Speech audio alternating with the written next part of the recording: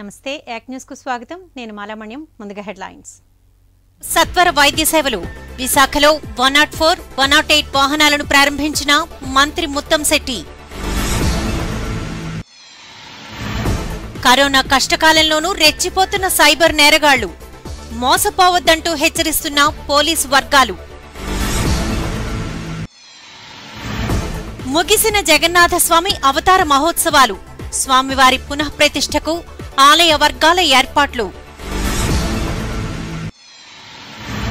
సాగరంలో యుద్ధ సన్నాహకాలు. భారత్ చైనా సరిహద్దు ఉద్రిక్తత నేపథ్యంలో అలర్ట్ అయిన తూర్పు నావికాదళం. తెలుగు రాష్ట్రాల్లో రెండు రోజుల పాటు వానలు. రుతుపవనాలకు ద్రోణి తోడు కావడంతో విస్తారంగా వర్షాలు. ఇక వార్తల వివరాలు చూద్దాం. ప్రజలకు సత్వర వైద్య సేవలు అందించే వ్యవస్థకు జగన్ సర్కార్ శ్రీకారం చుట్టింది. అత్యవసర వైద్య సేవలు అందించే one nought four one nought eight వాహనాలు విశాఖలో అందుబాటులోకి వచ్చాయి ఇక నగర రోడ్లపై కుయ్ కుయ్యమంటూ ప్రాణాపాయ స్థితిలో ఉన్నవారిని రక్షించనున్నాయి. రాష్ట్ర పర్యాటక సాంస్కృతిక శాఖల మంత్రి ముత్తంశెట్టి శ్రీనివాసరావు ఆర్కే బీచ్లో ఈ వాహనాలను ప్రారంభించారు. రాష్ట్రంలో కరోనా సంక్షోభంతో పోరాడుతున్న సమయంలో ప్రాణాపాయ స్థితిలో ఉన్నవారికి జీవం పోసే one nought eight one nought four అంబులెన్స్లను Jagan సర్కార్ పెద్ద సంఖ్యలో అందుబాటులోకి తీసుకొచ్చింది. వీటిలో కొన్ని వాహనాలు విశాఖ జిల్లాకు విచ్చేశాయి. ఆర్కే బీచ్లో ఈ వాహనాలను రాష్ట్ర పర్యాటక సాంస్కృతిక వ్యవహారాల శాఖ మంత్రి Muttamsetti Srinivasarao Anakapalli MP Satyavathi collector Vinay Chand Gajuwaka MLA నాగిరెడ్డిల సమక్షంలో జెండా ఊపి ప్రారంభించారు. ఈ సందర్భంగా మంత్రి మాట్లాడుతూ అత్యవసర వైద్య సేవల్లో ఇదో పెద్ద ముందడుగని పేర్కొన్నారు. ప్రజారోగ్య రంగంలో విప్లవాత్మక మార్పులకు శ్రీకారం చుట్టిన ఘనత సీఎం జగన్కే దక్కుతుందని కితాబిచ్చారు. ఒకే రోజు అత్యాధునిక వైద్య పరికరాలతో కూడిన వెయ్యిన్ని ఎనభై ఎనిమిది అంబులెన్స్లు అందుబాటులోకి తీసుకొచ్చి దేశంలోనే సరికొత్త రికార్డును జగన్ సర్కార్ నెలకొల్పిందని తెలిపారు. ఆపద సమయంలో సత్వర వైద్య సేవలు అందించి ప్రభుత్వానికి మంచి పేరు తీసుకురావాలని one nought eight one nought four వాహనాల సిబ్బందికి సూచించారు. మన విశాఖ జిల్లాకి వన్ జీరో ఎయిట్ వెహికల్స్ అరవై ఐదు వచ్చినాయి. అలాగే one nought four forty two వచ్చినాయి. అంటే మొత్తం సిక్స్టీ సెవెన్ వెహికల్స్ వచ్చినాయి. వీటిల్లో బీపీ కానీ షుగర్ కానీ టీబీ కానీ లెప్రసీ కానీ ఇలా మరి ఏ రకమైన జబ్బులు ఉన్నా కూడా వాళ్ళకి అక్కడికే వెళ్ళి చెక్ చేసి మరి రిపోర్ట్ ఇచ్చి ప్రజలకి వైద్యాన్ని వారి ఇంటి ముందు తీసుకె తీసుకెళ్ళేటువంటి మంచి పరిణామం. ఇప్పటికీ కూడా గిరిజన ప్రాంతాల్లో కానీ మరి గ్రామీణ ప్రాంతాల్లో కానీ ప్రజలు ముఖ్యంగా పేద ప్రజలు వైద్యం అందక హాస్పిటల్ సదుపాయాలు లేక ఎన్నో రకాల ఇబ్బందులు పడుతున్నారు. అలాగే హాస్పిటల్ రావాలన్నా కూడా వాళ్ళు సరైన ట్రాన్స్పోర్టేషన్ లేక ఇబ్బందులు పడుతున్నారు. అలాంటిది ఈ రోజున ఈ one zero eight one zero four తోటి మరి ఈ రాష్ట్రంలో ఆంధ్రప్రదేశ్ రాష్ట్రంలో ఏ పేద ప్రజానికం కూడా మరి ఎవరో కూడా ఇబ్బంది పడాల్సినటువంటి అవసరం ఉండదు. విశాఖలో సిటీ ఉంది రూరల్ ఉంది గిరిజన ప్రాంతం ఉంది. సో అన్ని ప్రాంతాల్లో ప్రజలు కూడా ఎవరికి వైద్యపరంగా ఎలాంటి ఇబ్బంది లేకుండా ఈ one zero eight one zero four సేవలు అందిస్తే తప్పనిసరిగా వైద్య రంగ చరిత్రలో సువర్ణాధ్యాయం తెలియజేసుకుంటూ మరి దీనికి మన జిల్లా తరఫున గౌరవ ముఖ్యమంత్రి గారికి జగన్మోహన్ గారికి హృదయపూర్వక నమస్కారాలు ధన్యవాదాలు తెలియజేసుకుంటూ సెలవు తీసుకుంటాం సందట్లో సడేమియా అన్నట్లు కరోనా కష్టకాలంలోనూ ప్రజలను సైబర్ నేరగాళ్ళు వదలటం లేదు. మహమ్మారి భయంతో ప్రజలు వణికిపోతుంటే ఇదే అదనుగా సైబర్ నేరగాళ్ళు చెలరేగిపోతున్నారు. అడ్డు అదుపు లేకుండా ప్రతాపాన్ని ప్రదర్శిస్తూ సైబర్ పోలీసులకు సవాల్ విసురుతున్నారు. పీపీఈ కిట్ల అమ్మకాల పేరిట ఇంటర్నెట్ వేదికగా అమాయకులకు గాలం వేసి వారి బ్యాంకు ఖాతాలను కొల్లగొడుతున్నారు.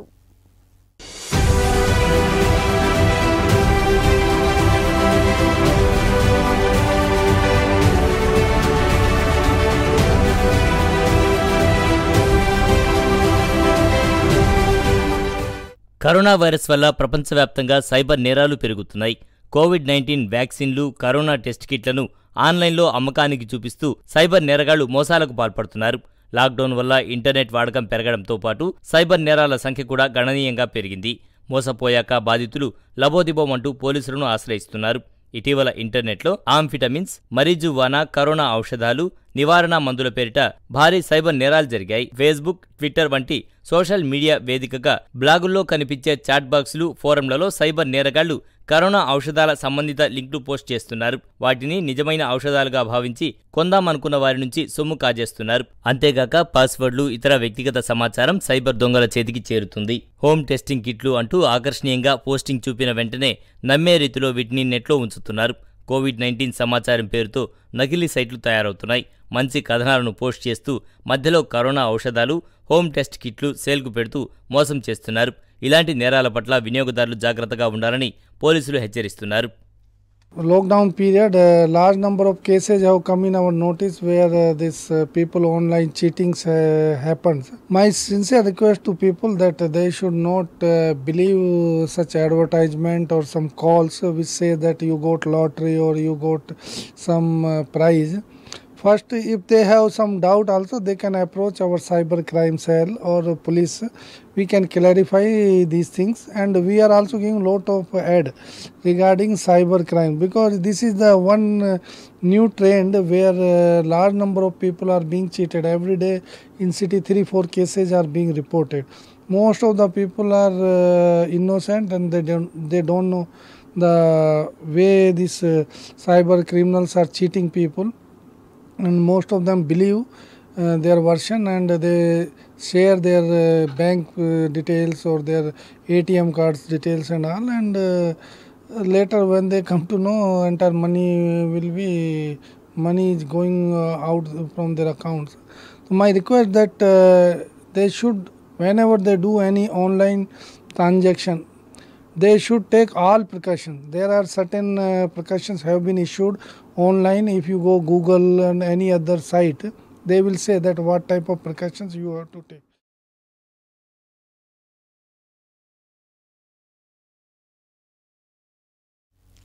నగరంలోని టౌన్ కొత్త రోడ్డులో కొలువై ఉన్న శ్రీ జగన్నాథ స్వామి ఆషాఢ మాసోత్సవాలలో భాగమైన రథోత్సవ వేడుకలు నేటితో ముగిశాయి. గత పది రోజులుగా దశావతారాలలో భక్తులకు స్వామివారి దర్శనమిచ్చారు. రోజుకో అవతారంలో దర్శనమిచ్చిన బలభద్ర సుభద్ర సమేత శ్రీ జగన్నాథ స్వామివారిని శుక్రవారం ఆలయ గర్భగుడిలో పునఃప్రతిష్ఠ చేయనున్నట్లు ఆలయ ప్రధానార్చకులు జగన్నాథాచార్యులు తెలిపారు.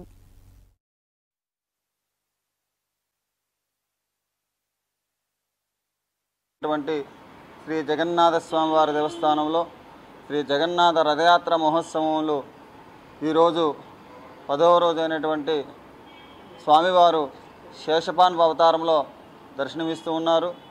ఈ రోజుతో ఉత్సవ పరిసమాప్తి జరిగి రేపు అనగా మూడు ఏడు రెండు వేల ఇరవై శుక్రవారం నాడు స్వామివారిని తిరుగురథయాత్రగా స్వామివారి దేవాలయంలో ప్రవేశించే ఘట్టము సాయంత్రము జగన్నాథ లక్ష్మీ సంవాదము అనే కార్యక్రమంతో ఈ యొక్క రథోత్సవాలన్నీ కూడా పరిసమాప్తమయ్యి నాలుగవ తేదీన శనివారం నాడు సంప్రోక్షణతో స్వామివారి పీఠారోహణంతో ఈ కార్యక్రమాలు పరిసమాప్తి అవుతుంటాయి. దానిలో భాగంగా స్వామివారు నిన్న ఈరోజు కూడా శేషాయనపై లక్ష్మీ నారాయణ అవతార రూపంలో భక్తులందరికీ కూడా దర్శనమిస్తూ ఉన్నారు.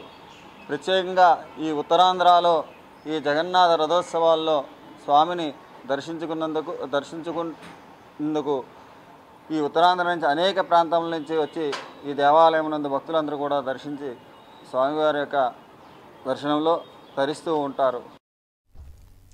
డ్రాగన్ చైనా భారత్ సరిహద్దులో యుద్ధ మేఘాలు కమ్ముకున్నాయి. సరిహద్దులో ఉద్రిక్తతల నేపథ్యంలో విశాఖలోని తూర్పు నావికాదళం అప్రమత్తమైంది. సమర సన్నాహకాల్లో భాగంగా జల సరిహద్దుల్లో యుద్ధ నౌకలను మోహరించింది. సమరమే అనివార్యమైతే శత్రు సేనలను చీల్చి చెండాడేందుకు సిద్ధమైంది. భారత్ చైనా సరిహద్దుల్లో ఉద్రిక్తత నెలకొంది. ఈ నేపథ్యంలో విశాఖలోని తూర్పు నావికాదళ విభాగం అప్రమత్తమైంది. యుద్ధ నౌకలను అంతర్జాతీయ జలాల్లో వ్యూహాత్మక ప్రాంతాల్లో మోహరించింది. గతంలో చైనాకు చెందిన యుద్ధనౌక హిందూ మహాసముద్రంలో కవ్వింపు చర్యలకు దిగినప్పుడు తూర్పు నావికాదళ యుద్ధనౌక దాన్ని వెంటాడింది. సాధారణంగా శత్రుదేశం అప్రమత్తతను గుర్తించేందుకు కవ్వింపు చర్యలకు పాల్పడుతుంటారు. ఇలాంటివి గతంలోనూ అనేకసార్లు చోటు చేసుకున్నాయి. తాజా పరిణామాల నేపథ్యంలో చైనా యుద్ధ నౌకలు మళ్ళీ కవ్వింపు చర్యలకు దిగితే వాటికి ధీటైన సమాధానం చెప్పేందుకు తూర్పు నావికాదళం ఏర్పాట్లు చేసింది. అందులో భాగంగా అన్ని విభాగాల ఉద్యోగులకు సెలవులు రద్దు చేసింది. తూర్పు నావికాదళంలో ఇతరులకు ప్రవేశం నిషేధించింది. రాకపోకలపై ఆంక్షలు విధించింది. విశాఖ తూర్పు నావికాదళం వాయు స్థావరం ఐఎన్ఎస్ డేగాలో యుద్ధ విమానాల పైలట్లకు శిక్షణ ముమ్మరం చేసింది.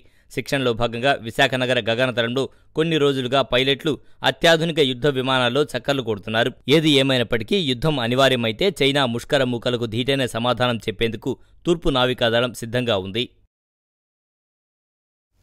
దేశవ్యాప్తంగా విస్తరించిన నైరుతి రుతుపవనాలు ఒరిస్సా లోతట్టు ప్రాంతాల మీదుగా ఏర్పడ్డ అల్పపీడన ద్రోణిల కారణంగా తెలుగు రాష్ట్రాల్లో విస్తారంగా వర్షాలు కురవనున్నాయి. కోస్తాంధ్ర తెలంగాణ రాయలసీమల్లో ఉరుములతో కూడిన భారీ వర్షాలు కురిసే అవకాశం ఉందని విశాఖ వాతావరణ కేంద్రం తెలిపింది. ఒరిస్సా లోతట్టు ప్రాంతంలో అల్పపీడన ద్రోణి కొనసాగుతోంది. దీనికి తెలుగు రాష్ట్రాల్లో విస్తరించిన నైరుతి రుతుపవనాలు తోడు కావడంతో తెలుగు రాష్ట్రాల్లో విస్తారంగా వర్షాలు కురవనున్నాయి. పిడుగులతో కూడిన భారీ వర్షాలు కురిసే అవకాశం ఉన్నట్టు విశాఖ వాతావరణ కేంద్రం తెలిపింది. ఇప్పటికే కోస్తాంధ్రలో చెదురుముదురుగా వర్షాలు పడుతున్నాయి. ప్రస్తుతం ఏర్పడ్డ వాతావరణ పరిస్థితుల నేపథ్యంలో తెలంగాణ రాయలసీమల్లో ఉరుములతో కూడిన భారీ వర్షాలు పడతాయి. ముప్పై నలభై కిలోమీటర్ల వేగంతో గాలులు వీస్తాయి. సముద్రం అల్లకల్లోలంగా ఉంటుంది కాబట్టి చేపల వేటకు వెళ్ళేవారు అప్రమత్తంగా ఉండాలని వాతావరణ శాఖ అధికారులు హెచ్చరికలు జారీ చేశారు. జిల్లాపై కరోనా ఉరుముతోంది. కోరలు చాస్తూ చెలరేగిపోతోంది. రోజురోజుకి కాఠిన్యాన్ని ప్రదర్శిస్తూ కేసుల నమోదులో కొత్త రికార్డులు సృష్టిస్తోంది. ఇరవై నాలుగు గంటల వ్యవధిలో రికార్డు స్థాయిలో డెబ్బై ఆరు కొత్త కేసులు నమోదయ్యాయి. ఇప్పటి వరకు వరుసగా రెండు రోజులు అత్యధిక కేసులు నమోదవడం ఇదే ప్రథమం. ప్రస్తుతం కోవిడ్ బాధితుల సంఖ్య తొమ్మిది వందల డెబ్బై ఆరుకు చేరింది. కరోనాకు తిక్కుంది. కానీ దానికో లెక్కుంది. ఇది సినిమా డైలాగులా అనిపించినా జిల్లాలో రెండు రోజులుగా ఒకే సంఖ్యలో నమోదవుతున్న కేసుల తీరే ఇందుకు నిదర్శనం. జిల్లాను కోవిడ్ గడగడలాడిస్తోంది. జెట్ స్పీడ్తో దూసుకుపోతూ కేసుల సంఖ్యను భారీగా పెంచుకుపోతోంది. జిల్లా నలుమూలలా తన ప్రతాపం చూపిస్తోంది. తాజాగా డెబ్బై ఆరు కేసులు నమోదవడంతో పాజిటివ్ కేసుల సంఖ్య తొమ్మిది వందల డెబ్బై ఆరుకు చేరింది. జిల్లాలో కోవిడ్ ప్రారంభమైన నాటి నుంచి వరుసగా రెండు రోజులు ఒకే సంఖ్యలో కేసులు నమోదవ్వడం ఇదే ప్రథమం. కొత్త కేసుల్లో పెద్దజాలారిపేటలో ఇరవై మందికి వైరస్ సోకింది. గాజువాక వడ్లపూడిలో ముగ్గురు మద్దెలపాలెం కొత్తపాలెం నకవానిపాలెంలో చెరో రెండేసి కేసులు నమోదయ్యాయి. దీంతో ఆ ప్రాంతవాసులు కరోనా అంటేనే గజగజ వణికిపోతున్నారు. లాక్డౌన్ ఎత్తేసి అన్ని రకాల కార్యకలాపాలకు ప్రభుత్వం అనుమతి ఇవ్వడంతో కేసుల సంఖ్య రోజురోజుకు పెరిగిపోతోంది. ఈ నేపథ్యంలో కేసుల కట్టడికి వైద్య ఆరోగ్య శాఖ కేసు వచ్చిన చోట వెంటనే ట్రేస్ టెస్ట్ ట్రీట్ విధానాన్ని అమలు చేస్తోంది. కరోనా దెబ్బకు ప్రజల వినోద సాధనాల్లో అత్యంత ప్రధానమైన సినిమా థియేటర్ల పరిస్థితి అగమ్య గోచరంగా మారింది. లాక్డౌన్తో మూతపడిన థియేటర్లు ఎప్పుడు తెరుచుకుంటాయో కూడా తెలియని పరిస్థితి నెలకొంది. మరోవైపు నిర్వహణా భారం గుదిబండలా మారడంతో ఎగ్జిబిటర్లు గగ్గోలు పెడుతున్నారు. థియేటర్లలో పనిచేసే కార్మికులు ఉపాధికి దూరమై ఆర్థికంగా ఇబ్బందులు పడుతున్నారు.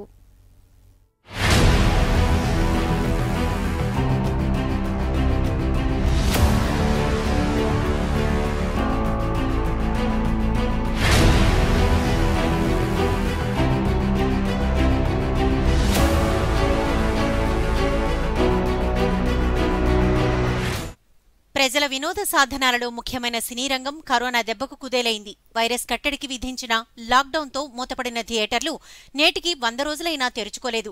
లాక్డౌన్ సడలింపుల నేపథ్యంలో వ్యాపార వాణిజ్య రంగాలు తెరుచుకున్నప్పటికీ వైరస్ వ్యాప్తికి అవకాశమున్న పర్యాటక వినోద రంగాలకు సర్కార్ సడలింపుల నుంచి మినహాయింపు ఇవ్వలేదు. దీంతో జిల్లా వ్యాప్తంగా ఉన్న నూట యాభై థియేటర్ల పరిస్థితి అగమ్య గోచరంగా తయారైంది. నిర్వహణ భారం గుదిబండగా మారటంతో ఎగ్జిబిటర్లు లబోదిబోమంటున్నారు పోటీ పెరిగిన నేపథ్యంలో అన్ని థియేటర్లు ఏసీతో పాటు కుషన్ సీట్ల వంటి ఆధునిక సదుపాయాలు సమకూర్చుకున్నాయి. ఇందుకోసం యజమానులు భారీగానే వెచ్చించారు. ఇక విద్యుత్ ఛార్జీలు సిబ్బంది జీతాలు ఇతర నిర్వహణ ఖర్చుల కింద నెలకు సగటున ఐదారు లక్షలు ఖర్చవుతోంది. కాగా లాక్డౌన్ మొదలు ఈ థియేటర్లన్నీ మూతపడ్డాయి. మళ్ళీ ఎప్పుడు తెరుచుకుంటాయో చెప్పలేని సందిగ్ధ పరిస్థితి నెలకొంది. ఫలితంగా నిర్వాహకులతో పాటు కార్మికులు ఆర్థికంగా నలిగిపోతున్నారు. ఈ పరిస్థితిలో ప్రభుత్వం ఆదుకోకుంటే థియేటర్లు శాశ్వతంగా మూతపడే పరిస్థితి నెలకొంది.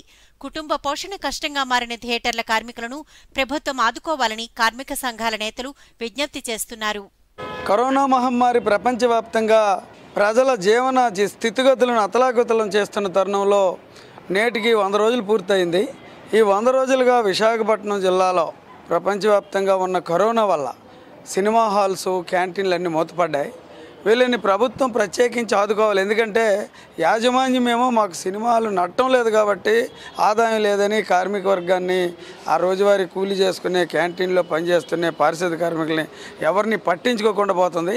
రాష్ట్ర ప్రభుత్వం ఏమో నవరత్నాల పేరు చెప్పి అందరినీ ఆదుకుంటున్నామని చెప్తున్నారు.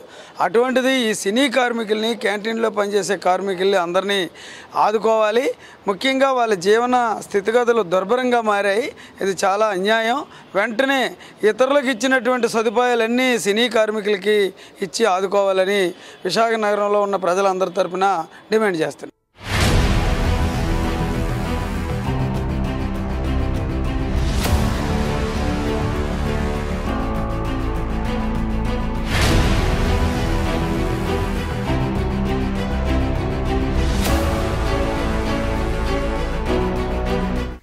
రాష్ట్రంలో one nought four one nought eight అంబులెన్స్లను Jagan సర్కార్ అందుబాటులోకి తీసుకొచ్చింది. ఈ సందర్భంగా గాజువాక వైసీపీ కార్యాలయంలో పార్టీ నాయకులు కార్యకర్తలతో కలిసి ఎమ్మెల్యే తిప్పల నాగిరెడ్డి సీఎం జగన్ ఫ్లెక్సీకి పాలాభిషేకం చేశారు. ఈ సందర్భంగా ఆయన మాట్లాడారు. దేశంలో ఎక్కడా లేని విధంగా వెయ్యి అరవై ఎనిమిది అత్యాధునిక అంబులెన్సులను ప్రారంభించి ప్రజారోగ్యానికి పెద్దపీట వేసిన ఘనత జగన్ సర్కార్కే దక్కుతుందన్నారు.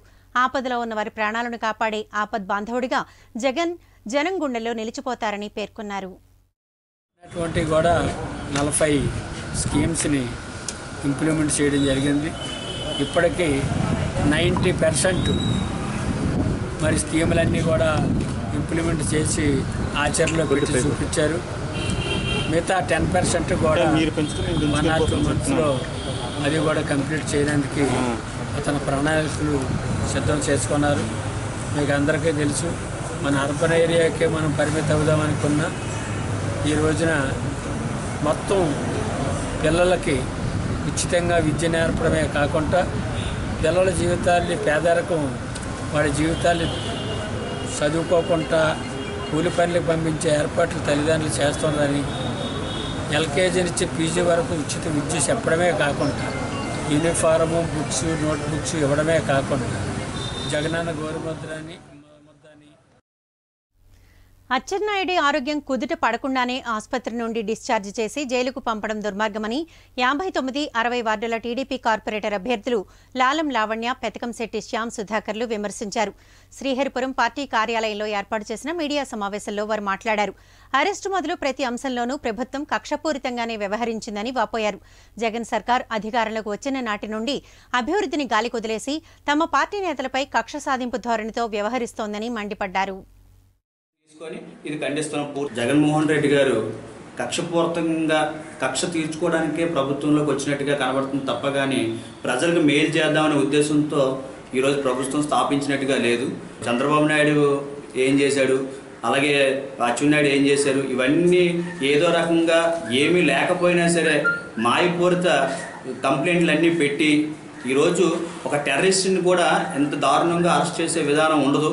ఒక ప్రజాప్రతినిధినైని ఎంత నోటీస్ లేకుండా అరెస్ట్ చేయకూడదు అనేది రాజ్యాంగంలో ఉన్నా సరే ఈరోజు పోలీసులు అందరూ కూడా గోడ దూకి ఆయన్ని తీసుకెళ్ళి బలవంతంగా ఒక రోజు ముందు ఆపరేషన్ అయిన వ్యక్తిని కేర్ లేకుండా ట్వంటీ ఫోర్ అవర్స్ జర్నీతో ఆ కారులో తీసుకెళ్ళి ఒక ఎటువంటి కేర్ కూడా లే తీసుకోకుండా ఈరోజు తీసుకెళ్ళి చూస్తే అంత దుర్మార్గం అనేది ఈరోజు మనకు తెలుస్తుంది. జగన్మోహన్ రెడ్డి అనేది పర్టికులర్గా ఈ ఎవరు ఎవరైతే అసెంబ్లీలో గట్టిగా మాట్లాడుతున్నారో ఆయన గొంతు నొక్కాలనే ఉద్దేశంతో ఈయన ఖచ్చితంగా పోలీస్ స్టేషన్లో పెట్టాలి జైల్లో పెట్టాలనే ఆలోచన తప్ప ఆయన మీద ఎటువంటి అభియోగాలు కూడా లేవు. ఆయన క్లీన్ చీట్తో వస్తారు. కానీ ఇదే విధంగా కానీ మీరు కంటిన్యూ కానీ చేసినట్టయితే టీడీపీ పార్టీ నుంచి ఎటువంటి పరిస్థితుల్లో కూడా మా కార్యకర్తలు కానీ మేము కూడా ఊరుకోమని చెప్తున్నాం. ఈ అచ్చెన్నాయుడు గారి మీద ఏదైతే కేసులు అయితే ఉన్నాయో అవన్నీ తప్పని చెప్పి కోర్టు మళ్ళీ ఇంకొకసారి జగన్మోహన్ రెడ్డి గారికి జగన్మోహన్ రెడ్డి గారి ప్రభుత్వానికి ముట్టుకాయలు పెడతాయని వీళ్ళకి ముందే తెలిసి ఎలాగైనా నేను జైలుకు పంపించాలని నైట్ నైటే ఆయన డిశ్చార్జ్ చేసి జైలు పంపించడం జరిగింది. కరోనా వైరస్ వ్యాప్తి నేపథ్యంలో హోటళ్ళకు వెళ్ళాలంటే జనం భయపడిపోతున్నారు. గత కొన్నాళ్ళుగా హోటల్ ఫుడ్ మానుకుని వైరస్ భయంతో నోరు కట్టుకుని ఇంటి ఫుడ్కే పరిమితమైపోతున్నారు. ఈ నేపథ్యంలో కస్టమర్లను తిరిగి హోటల్స్కు రప్పించేందుకు యాజమాన్యాలు విశ్వ ప్రయత్నాలు చేస్తున్నాయి. ఇందులో భాగంగా విశాఖలోని ఓ హోటల్ కస్టమర్ల భద్రతకు భరోసా కల్పిస్తూ వినూత్నంగా సేవలందిస్తోంది.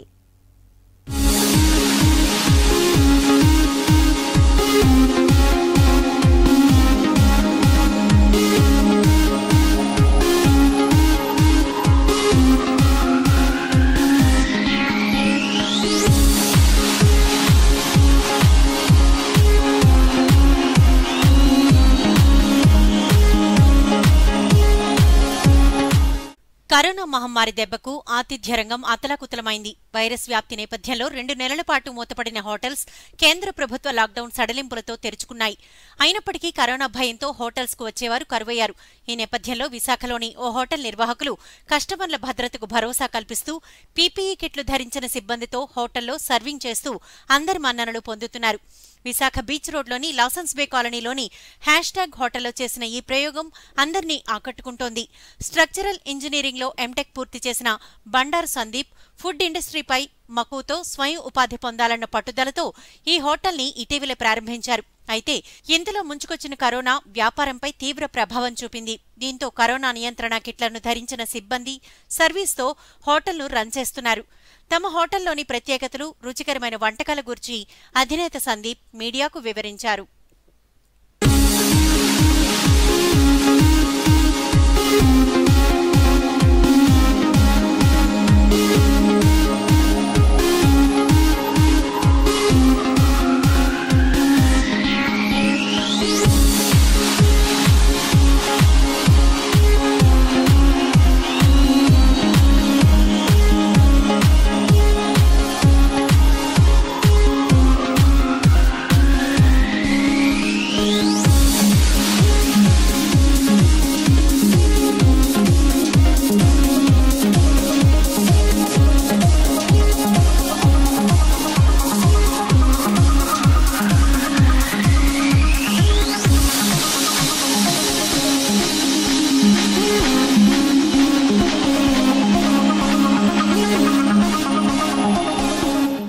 కరోనా వచ్చిన తర్వాత ఈ రెస్టారెంట్లో ఈ సేఫ్టీ మేనేజ్మెంట్ తీసుకుంటున్నారు. పీపీ కిట్లు కానీ గ్లౌస్ కానీ మాస్కులు కానీ పెట్టుకుంటూ వాళ్ళు సర్వ్ చేస్తున్నప్పుడు కూడా చాలా జాగ్రత్తగా సర్వ్ చేస్తున్నారు. అలాగే వచ్చినప్పుడు హ్యాండ్ శానిటైజ్ ఇస్తూ చాలా సేఫ్టీగా చూసుకుంటారండి ఆ విషయంలో మాత్రం ఎక్సలెంట్గా ఉంది.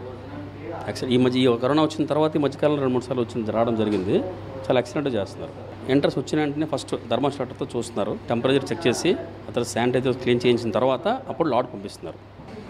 మా రెస్టారెంట్ అనేది బేసికలీ కంటైనర్స్లో పెట్టడం జరిగింది. కంటైనర్స్ ఎందుకు అంటే వైజాగ్లో ఏ థీమ్ అయితే లేదో దాన్ని కొత్తగా కొంచెం జనాల్లో కొత్తగా చూపించాలనుకొని ఆలోచించి పెట్టింది కంటైనర్స్ మొత్తం. ఇక్కడ నాలుగు కంటైనర్స్ యూస్ చేసి హ్యాష్ సింబల్లో ప్లేస్ చేసాం. అక్కడి నుంచి హ్యాష్ ట్యాగ్ అనే నేమ్ని మేము తీసుకురావాల్సిగా వచ్చింది. అండ్ హ్యాష్ ట్యాగ్లో ఫుడ్ అనేది కాంటినెంటల్ చైనీస్ ఇండియన్ తందూరి అన్ని ఐటమ్స్ దొరుకుతాయి. అండ్ మోర్ ఓవర్ ఇప్పుడు కోవిడ్ వల్ల ప్రజలందరూ ఏంటంటే భయపడుతున్నారు. బయటికి వచ్చి భోజనం చేయాలి చేయకూడదు అని. సో అవన్నీ మనసులో పెట్టుకొని మేము ఏంటంటే ప్రతి ఒక్కరు వాళ్ళ బాధ్య వాళ్ళ భద్రతని మేము మా భద్రతగా భావించి మా స్టాఫ్ అందరికీ పీపీ కిట్స్ ప్రొవైడ్ చేయడం జరిగింది. సర్వ్ చేసే ప్రతి ఒక్కరు PP kit hand gloves mask అనేవి కంపల్సరీ మెయింటైన్ చేస్తారు. అండ్ మోర్ ఓవర్ ఎంట్రన్స్ దగ్గరే థర్మల్ స్కానర్ యూస్ చేసి స్కాన్ చేసిన తర్వాత ఓకే అన్నప్పుడే మేము లోపలికి అలౌ చేస్తాం. అలాగే శానిటేషన్ కూడా ఫస్టే చేస్తున్నాము. కంపల్సరీగా హ్యాండ్ శానిటైజ్ చేసుకొని లోపల రావాలి. వితౌట్ దట్ అలా లేకుండా లేదు. ఎన్ని మెజర్మెంట్స్ తీసుకొని అన్ని తీసుకున్నాము. సో ప్రతి ఒక్కరు ఈ చూసి తెలుసుకొని కొంచెం మమ్మల్ని వస్తారు మా దగ్గర ఫుడ్ చూస్తారని మేము మనస్ఫూర్తిగా కోరుకుంటున్నాము. హ్యాష్ ట్యాగ్ అనే రెస్టారెంట్ అద్భుతంగా ఉంది. ఇది మామూలు ఓపెన్ రెస్టారెంట్ కాకుండా ఇండివిజువల్ ప్రైవేట్ రూమ్స్ కూడా ఉన్నాయి. చక్కగా ఆర్గనైజ్ చేస్తున్నారు అంతాను. First I would like to congratulate Sandeep the owner of this hotel for maintaining this so well ఇంత ఈ లాక్డౌన్ టైంలో అందరూ భయపడుతున్న టైంలో సేఫ్గా వెళ్ళి ఒక ప్లేస్లో తినాలి అంటే I would suggest hash tag ఎందుకంటే చక్కగా వీళ్ళు పీపీ మొత్తం స్టాఫ్ అంతా పీపీఈ కిట్స్తో అసలు ఎంటర్ అవగానే టెంపరేచర్ చెక్ చేస్తూ శానిటైజేషన్ చేయిస్తూ చాలా బాగా చేస్తున్నారు. ఈ రెస్టారెంట్లో you have all kinds of food which will cater to the needs of different people విశాఖపట్నంలో ఒక different you have people from all over India based in Visakhapatnam వాళ్ళందరి టేస్ట్ని కేటర్ చేయాలంటే చక్కగా మెనూలో చాలా బాగున్నాయి items అన్నీను I tasted them also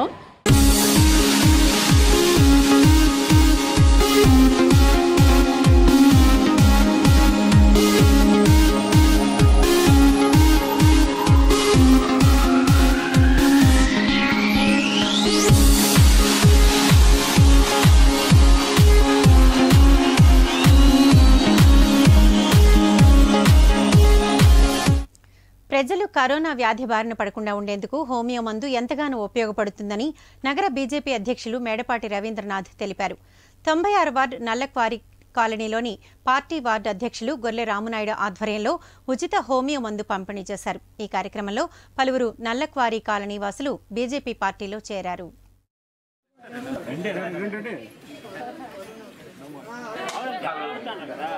ఇప్పుడు ఈ మెడిసిన్ ఇస్తున్నారు కదా. చిన్నపిల్లలు అయితే నాలుగు వేసుకోవాలి. పోతుందమ్మా ముగ్గురు నలుగురికి అంతే కదా?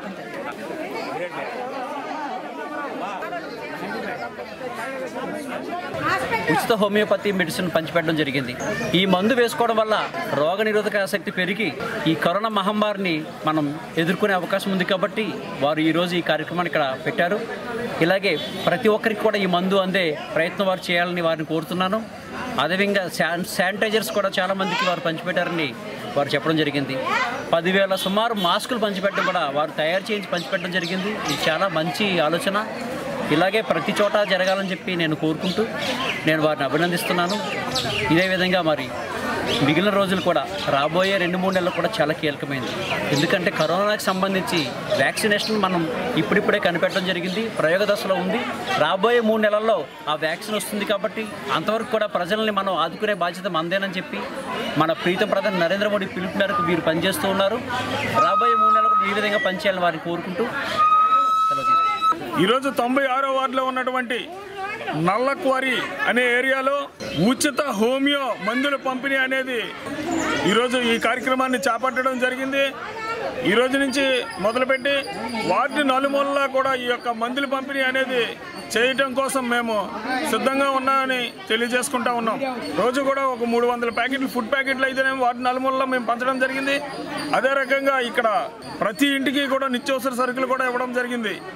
సో ఆ కార్యక్రమాల్లో భాగంగానే ఈరోజు వ్యాధి నిరోధక శక్తి ప్రతి ఒక్క వార్డులో ఉన్నటువంటి ప్రతి ఒక్క ప్రజానికానికి ఉండాలని చెప్పేసి ఈరోజు ఉచిత హోమియో మందుల పంపిణీ కూడా చేయడం జరుగుతూ ఉంది. ఉత్తరాంధ్ర ఆరోగ్య ప్రదాయిని కేజీహెచ్కు మహర్దశ పట్టనుంది. పాడుబడిన భవనాల స్థానే కొత్త భవనాలు అందుబాటులోకి రానున్నాయి. నాడు నేడు పథకం కింద ఏడు బ్లాకులను నిర్మించాలని ఆసుపత్రి వర్గాలు ప్రతిపాదించాయి. బ్లాకుల వారీ రానున్న విభాగాలు పడకలు ఇతర వసతుల వివరాలతో కూడిన నివేదికను డీఎంయూకు పంపించాయి. King George hospital. ఉత్తరాంధ్ర ప్రజలకు ఇది ఆరోగ్య ప్రదాత. ఉత్తరాంధ్ర వాసులే కాదు ఒడిశా ఛత్తీస్గఢ్ ప్రాంతాల వారు కూడా ఈ ఆసుపత్రిలో చికిత్స ద్వారా స్వస్థత పొందుతారు. పేదల ఆసుపత్రిగా పేరొందిన కేజీహెచ్కు రోగుల అవసరాలకు అనుగుణంగా మరిన్ని వసతులు సమకూరనున్నాయి. నాడు నేడు పథకం కింద ఏడు బ్లాక్లను నిర్మించనున్నారు. ఒక్కో బ్లాక్లో ఐదు అంతస్తులు నిర్మించనున్నారు. ప్రసూతి విభాగం స్థలంలో ప్రసూతి మాతాశిశు వైద్య కేంద్రాలకు వేరువేరుగా రెండు బ్లాక్లు నిర్మిస్తారు. కార్డియాలజీ బ్లాక్ స్థలంలో అదే విభాగానికి కొత్త బ్లాక్ నిర్మించనున్నారు. అలాగే సర్జికల్ పిడియాట్రిక్స్ మెడిసిన్ విభాగాలకు రెండు బ్లాక్లు రానున్నాయి. ఆంధ్ర వైద్య కళాశాలకు సంబంధించిన విభాగాలు పరిపాలనా కార్యాలయం లెక్చర్ హాళ్ళు ఇతర అవసరాల కోసం మూడు బ్లాకులు వేరుగా చేపట్టనున్నారు. డిజైన్ గ్రాఫిక్స్ సంస్థ కేజీహెచ్ పరిధి ఇరవై ఏడు ఎకరాలను పరిశీలించి కొత్త బ్లాకుల నిర్మాణ స్థలాలు ఎంపిక చేసిందని త్వరలో టెండర్లు పిలవనున్నట్లు KGH superintendent doctor G Arjuna ACT న్యూస్కు తెలిపారు. నిజం చేస్తున్న జగన్మోహన్ రెడ్డి గారికి మా వైద్యులందరం కూడాను రుణపడి ఉంటాం. కారణం ఏంటంటే ఈ బిల్డింగ్స్ పాతబడ్డ బిల్డింగ్స్ సుమారుగా వంద సంవత్సరాలు ఉన్న ఈ బిల్డింగ్స్ మెయింటెనెన్స్ చేయటం చాలా కష్టంగా ఉంటుంది. అకామిడేషన్ కూడా కష్టంగా ఉంటుంది.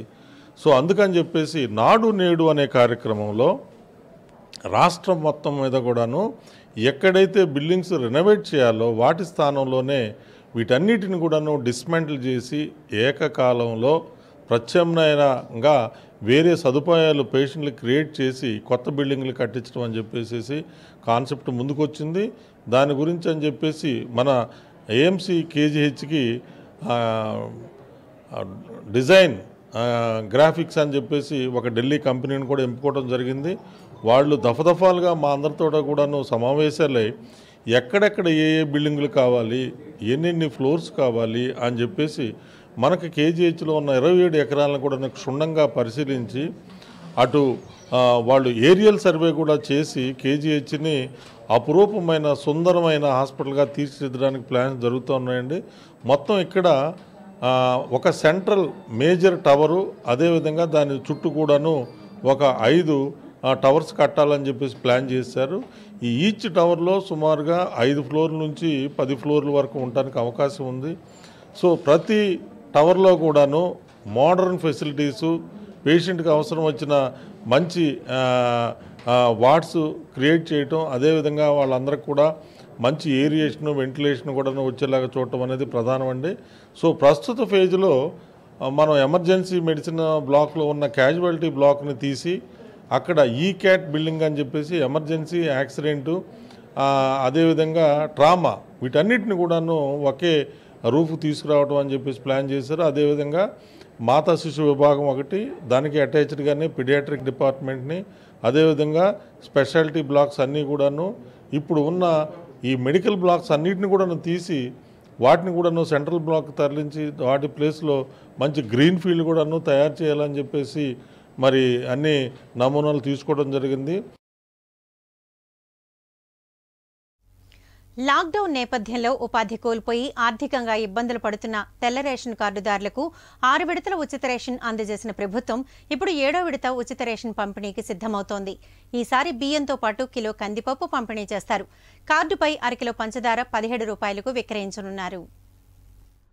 కరోనా లాక్డౌన్ కారణంగా ఉపాధికి దూరమై ఆర్థికంగా ఇబ్బందులు పడుతున్న తెల్ల రేషన్ కార్డుదారులను ఉచిత రేషన్ పంపిణీ ద్వారా ప్రభుత్వం ఆదుకుంటుంది. అందులో భాగంగా ఇప్పటికే ఆరు విడతల ఉచిత రేషన్ పంపిణీని పూర్తి చేసిన ప్రభుత్వం ఇప్పుడు మళ్ళీ ఏడో విడత ఉచిత రేషన్ పంపిణీకి ఏర్పాట్లు చేసింది. తొలిసారి మార్చి ఇరవై తొమ్మిదిన ఉచిత రేషన్ను అందజేసిన ప్రభుత్వం ఆ తరువాత నుండి పదిహేను రోజులకు ఒకసారి చొప్పున ఇప్పటి వరకు ఆరు విడతల ఉచిత రేషన్ను అందించింది. జిల్లాలో రెండు వేల నూట తొంభై మూడు రేషన్ డిపోల ద్వారా పన్నెండు పాయింట్ ఆరు నాలుగు లక్షల మంది తెలుపు కార్డుదారులకు ఉచిత రేషన్ను అందజేయనున్నారు. లాక్డౌన్ అమలు నేపథ్యంలో భౌతిక దూరం పాటించేలా చర్యలు తీసుకుంటున్నారు. అలాగే వేలిముద్రలు తీసుకునే ముందు కార్డుదారులకు శానిటైజర్ చేయనున్నారు. ఏడో విడత ఉచిత రేషన్లో బియ్యం కందిపప్పు ఉచితంగాను అరకిలో పంచదార పదిహేడు రూపాయలకు అందజేయనున్నారు. శుక్రవారం నుంచి ఈ నెల పదిహేను వరకు ఉచిత రేషన్ను అందజేస్తారు. విశాఖలో గ్యాస్ ప్రమాదాలపై సిపిఐ ఆందోళన వ్యక్తం చేసింది. వరుస పరిశ్రమల గ్యాస్ లీకేజ్ ఘటనలు జరుగుతున్నాయని ప్రమాదాల నియంత్రణపై ప్రభుత్వం దృష్టి సారించాలని సిపిఐ రాష్ట్ర సహాయ కార్యదర్శి జేవి సత్యనారాయణమూర్తి కోరారు. అల్లిపురం సిపిఐ కార్యాలయంలో ఏర్పాటు చేసిన మీడియా సమావేశంలో ఆయన మాట్లాడుతూ సాయినార్ లైఫ్ సైన్సెస్ ఫార్మా కంపెనీలో ఇది మొదటి ప్రమాదం కాదని మానవ ప్రాణాలకు విలువ కట్టడం సరైన పద్ధతి కాదని అన్నారు. ఎల్జీ పాలిమర్స్ లాగే సాయినార్ ప్రమాదంలో కూడా మృతులకు కోటి రూపాయల ఎక్స్గ్రేషియా ఇవ్వాలని క్షతగాత్రులకు ఒక్కొక్కరికి ఇరవై ఐదు లక్షల రూపాయలు చెల్లించాలని డిమాండ్ చేశారు. పరిశ్రమల యాజమాన్యంతో పాటు సంబంధిత అధికారులపై కఠిన చర్యలు తీసుకోవాలని సాయినార్ ప్రమాదంపై హైకోర్టు సిట్టింగ్ జడ్జి ఆధ్వర్యంలో దర్యాప్తు కమిటీ ఏర్పాటు చేయాలని కోరారు. కాకుండానే సాయినార్ లైఫ్ సైన్సెస్లో మరో గ్యాస్ లీక్ ప్రమాదం జరిగి ఇద్దరు ఉద్యోగులు అక్కడికక్కడే మరణించడం మరో నలుగురు క్షతగాత్రులై ఆసుపత్రి పాలు కావడం అన్నది మనం చూసాం మరి దీన్ని నియంత్రించాల్సినటువంటి deputy chief inspector of factories ఆయన ఉన్నారు. అలాగే కాలుష్య నియంత్రణ మండలి. వాళ్ళు సక్రమంగా వారి యొక్క బాధ్యతలను నిర్వర్తించకపోవడం వలనే ఈ ప్రమాదాలు జరుగుతూ ఉన్నాయి. అందుకనే మేము ఈ దర్యాప్తులు చేసేటప్పుడు ఈ వీళ్ళిద్దరినీ కూడా chief engineer pollution control board chief inspector of factories ఈ ఇద్దరు అధికారులను కూడా దానికి బాధ్యులు చేసి విచారణ చేసి మీరు తగిన చర్యలు తీసుకుంటే భవిష్యత్తులో ఇటువంటి ప్రమాదాలు జరగకుండా నివారించడానికి అవకాశం ఉంటుందని చెప్పని ఆ వైపు ఆలోచన చేయమని చెప్పని మేము కోరుతా ఉన్నాం. అలాగే మీరు దర్యాప్తు బృందాన్ని ఏర్పాటు చేశారు ఈ దర్యాప్తు బృందంలో వైఫల్యం చెందినటువంటి కాలుష్య నియంత్రణ మండలి అధికారిని పరిశ్రమల శాఖ ఇక్కడ ఉన్నటువంటి డిప్యూటీ చీఫ్ ఇన్స్పెక్టర్ ఆఫ్ ఫ్యాక్టరీస్ని వీళ్ళిద్దరిని అందులో సభ్యులుగా పెట్టారు దర్యాప్తు బృందంలో. అంటే దొంగ చేతికే తాళాలు ఇచ్చి నువ్వు జాగ్రత్తగా ఉండరా బాబు అనే పద్ధతుల్లో ఇది ఉంది. ఇది సరైంది కాదు. మేము కోరుతుంది సిపిఐగా మేము కోరుతుంది హైకోర్టు సిట్టింగ్ జడ్జి నేతృత్వంలో నిపుణులతో కూడినటువంటి స్వతంత్ర దర్యాప్తు బృందాన్ని ఏర్పాటు చేసి వీళ్ళు కూడా బాధ్యులు చేసి కాలుష్య నియంత్రణ మండలి పరిశ్రమల శాఖ అధికారులను కూడా బాధ్యులు చేసి మీరు దర్యాప్తు చేస్తేనే వాస్తవాలు బయటకు వస్తాయి తప్ప లేకపోతే ఈ రావు. దళితులు మహిళల పట్ల వివక్షను వీడి అర్హత ఉన్న వీఆర్ఏలందరికీ వీఆర్ఓలుగా ప్రమోషన్లు కల్పించాలని దళిత విముక్తి ప్రగతిశీల మహిళా సంఘాలు డిమాండ్ చేశాయి. డాబా గార్డెన్స్ విజేఎఫ్ ప్రెస్ క్లబ్లో ఏర్పాటు చేసిన మీడియా సమావేశంలో ఆ సంస్థల ప్రతినిధులు ఎస్ వెంకటరమణ ఎం లక్ష్మిలు మాట్లాడారు. జిల్లాలో రెవెన్యూ అధికారులు వీఆర్ఏ వీఆర్ఓ ప్రమోషన్లలో అవినీతికి పాల్పడి అర్హులైన దళితులు మహిళలను పక్కన పెట్టడాన్ని తాము ఖండిస్తున్నామన్నారు. కలెక్టర్ జోక్యం చేసుకుని వీఆర్ఏల ప్రమోషన్స్లో జరిగిన అవకతవకలను అరికట్టి దళితులు మహిళలకు న్యాయం చేయాలని డిమాండ్ చేశారు ఉన్న ఎనభై ఏడు మంది విఆర్ఏలు తమ యొక్క అర్హతను పక్కన పెట్టబడ్డారు. దీని మీద మేము అధికారులు కలవడం జరిగింది. అధికారులు కలిసినప్పుడు పొంతం లేని సమాధానాలు ఈరోజు విఏ గారు ఏవో గారు మాట్లాడారు. ఏవో గారు మాట్లాడుతున్నప్పుడు చాలా స్పష్టంగా మీరు ఈరోజు విఆర్ఏ సంబంధించి నుంచి విఆర్ఓ ప్రమోషన్స్లో ఏమి గీటురాయి తీసుకున్నారు? జీవోను కాదా అంటే కాదు జీవోను కాదు మేము ఈరోజు ఇంకొక జీవో కూడా వచ్చింది మాకు. అది మెరిటింగ్ క్రైటీరియా తీసుకోమని వచ్చిందని అన్నారు. అయితే మేము మెరిట్ని క్రైటీరియాగా తీసుకోమని చెప్పి చెప్తే మీరేమైనా పోటీ పరీక్షలు నిర్వహించారా ప్రమోషన్స్ కోసం? అలాంటి పరీక్షలు కనుక నిర్వహిస్తే చెప్పండి అని అంటే అలాంటి పరీక్షలు ఏమీ లేవు. వీళ్ళని రిక్రూట్ చేసుకునేటప్పుడు ఏదైతే మేము పోటీ పరీక్షలు ఉన్నాయో దాంట్లో ఉన్న మెరిట్నే మేము తీసుకున్నామని చెప్పేసి వాళ్ళు చెప్పారు. అయితే అలాంటిది ఏమైనా ఉన్నట్లు జీవోలో చూపించండి అంటే అట్లాంటి జీవో ఎటువంటిది చూపించలేదు. వాళ్ళు మేము అడిగితే చూపించిన జీవోలో చాలా స్పష్టంగా పన్ను సీనియారిటీ ప్రకారం మాత్రమే ఈరోజు ప్రమోషన్లు కల్పించాలి అనే దాంట్లో ఈరోజు విఆర్ఏల నుంచి వీఆర్ఓలకు ప్రమోషన్ కల్పించాలని అందులో స్పష్టంగా ఉంది. అంటే ఇక్కడ ఉన్న రెవెన్యూ శాఖ కొంత ఇక్కడ అవతవకలు పాల్పడి అవినీతికి పాల్పడి ఇక్కడున్న సీనియారిటీ ఉన్న వాళ్ళందరినీ కూడా పక్కన పెట్టి ప్రభుత్వ అర్హతలు ఉన్న వాళ్ళందరినీ కూడా ప్రమోషన్స్ కల్పించకుండా వాళ్ళకి అన్యాయం జరుగుతుంది. విఆర్ఎస్ నుంచి విఆర్ఓ ప్రమోషన్స్ స్పష్టమైన జీవో ఉంది. జీవో నెంబర్ పదమూడు. ఆ జీవోను పూర్తిగా ఉల్లంఘించి అడ్డదారిలో అవినీతికి పాల్పడి మొత్తంగా కొంతమందిని ముఖ్యంగా దళిత పీపుల్ని అదే మహిళగా ఉన్నోళ్ళని కొంత వెనకబడిన తరగతిలో ఉన్న పేదవాళ్ళందరినీ కలిపి నెట్టి ఈవేళ కొంతమంది ముందుకు తీసుకొచ్చి ముందు వరుసలో పెట్టి అన్యాయం చేస్తున్న పరిస్థితి ఉన్నది. అందుకని ఏదైతే గతం నుంచి మొదటి నుంచి ఉందో ఎలిజిబుల్ లిస్ట్ ఉందో ఆ ఎలిజిబుల్ లిస్ట్ని పూర్తిగా తొంగలో తొక్కడం జరిగింది. ఎలిజిబుల్ లిస్ట్ ప్రకారం ఉన్న ఇప్పుడున్న దళిత పిల్లలంతా కలిపి విఆర్ఎస్ విఆర్ఎస్ విఆర్ఎస్ ఉన్న అందరూ కలిపి మొదలు ఎనభైలోను యాభైలోను ముప్పైలోను నెంబర్స్లో ఉంటే వీళ్ళు తారుమారు చేసిన లిస్టులో నూట యాభైకి నూట ఎనభైకి నూట అరవైకి వెళ్ళి పరిస్థితి వచ్చింది. కాబట్టి వెంటనే ఈ ప్రభుత్వం వెంటనే స్పందించాలా? కలెక్టర్ గారు కూడా వెంటనే స్పందించాలా? ఇలాంటి అవకతవలు చేస్తున్న అధికారుల చర్యలు కూడా తీసుకోవాలా? బులెటిన్ ముగించే ముందు హెడ్లైన్స్ మరోసారి. రాష్ట్రంలో ప్రజలకు సత్వర వైద్య సేవలు. విశాఖలో one nought four one nought eight వాహనాలను ప్రారంభించిన మంత్రి ముత్తంశెట్టి కరోనా కష్టకాలంలోనూ రెచ్చిపోతున్న సైబర్ నేరగాళ్ళు. మోసపోవద్దంటూ హెచ్చరిస్తున్న పోలీసు వర్గాలు. ముగిసిన జగన్నాథ స్వామి అవతార మహోత్సవాలు. స్వామివారి పునఃప్రతిష్ఠకు ఆలయ వర్గాల ఏర్పాట్లు. సాగరంలో యుద్ధ సన్నాహకాలు. భారత్ చైనా సరిహద్దు ఉద్రిక్తత నేపథ్యంలో అలర్ట్ అయిన తూర్పు నావికాదళం. తెలుగు రాష్ట్రాల్లో రెండు రోజుల పాటు వానలు రుతుపవనాలకు ద్రోణి తోడు కావడంతో విస్తారంగా వర్షాలు. యాక్ న్యూస్ ఇంతటితో సమాప్తం. Stay connected.